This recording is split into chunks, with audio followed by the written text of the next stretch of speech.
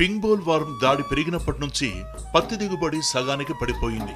పత్తి పంటపై పింగ్బోల్ వార్మ్ దాడి రైతుకు పెద్ద సమస్యగా మారింది. ఎన్ని పురుగు మందులు వాడినా కంట్రోల్ కావడం లేదు. ఆడపురుగు వదిలే రసాయనం మాదిరే కృత్రిమమైన పేస్ట్ను అందుబాటులోకి తీసుకొచ్చింది ఏటీజీసీ.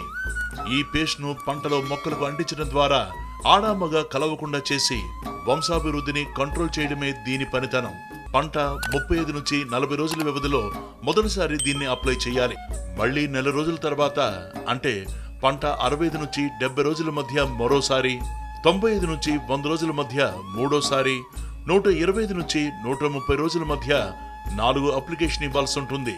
ప్రతి ముప్పై రోజులకు ఒకసారి ఒక ట్యూబ్ తీసుకుని మొక్కలకు రెండు వందల నుంచి నాలుగు వందల చుక్కలు పెట్టాలి. ఇలా నాలుగు సార్లు పంటకు అప్లై చేయడం ద్వారా పింగ్బోల్ వార్మును పంటకు ఆశించకుండా కాపాడవచ్చు.